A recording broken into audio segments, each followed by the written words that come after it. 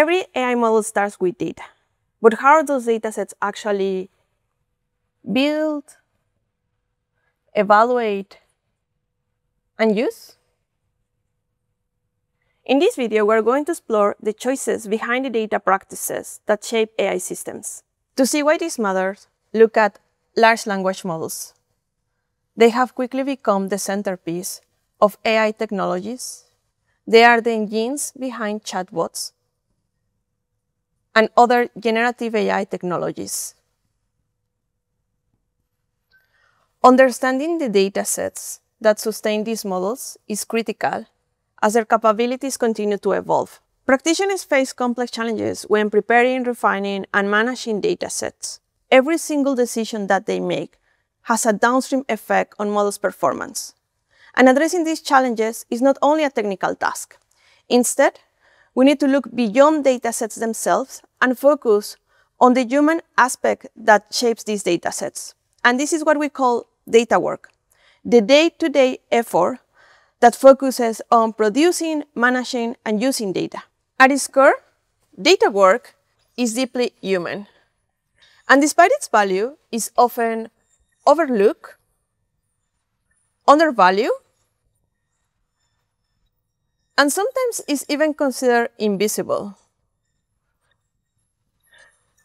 But in reality, every step of the data workflow involves complex social and technical decisions. And these decisions deeply shape how AI systems work. It may sound abstract, but data work is everywhere, from how data sets are created to how they are cleaned. For instance, when we choose the categories for a dataset, we're actually deciding who gets to be represented and who doesn't. Most of the datasets used to train AI systems currently do not represent the world equally.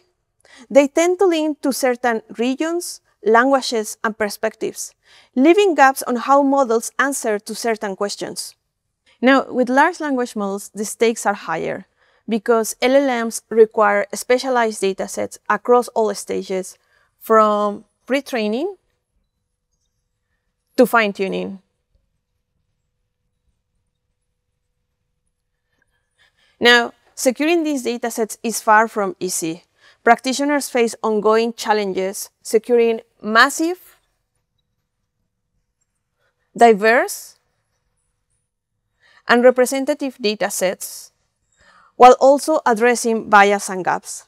As a response to this challenge, many practitioners are now turning to synthetic data generated with large language models. However, synthetic data doesn't solve all the issues. It introduces new responsibilities.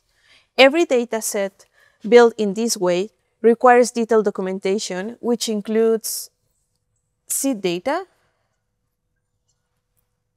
prompts to generate the data, and parameter setting. Without proper records, it becomes very difficult to trace the data origins, the transformation, and the role of data in model development.